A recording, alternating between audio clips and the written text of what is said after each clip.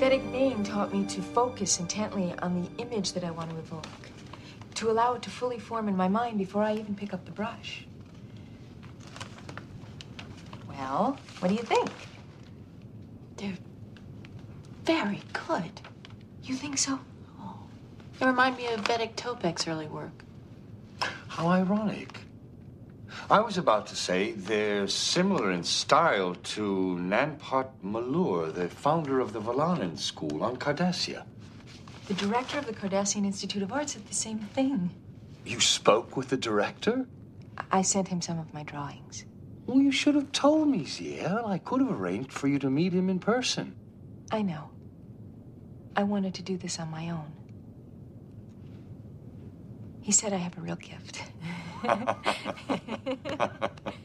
the Institute is having an exhibition of new artists next month. You might want to include my work. Ah, wonderful. It's a chance to show that both Bajorans and Cardassians look at the universe the same way. And that's what I want to do with my work bring people together.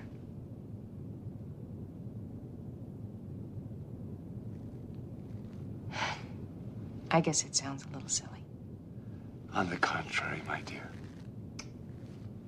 You're quite eloquent. Are you ready for dessert? Yes. I'm not going anywhere. Good.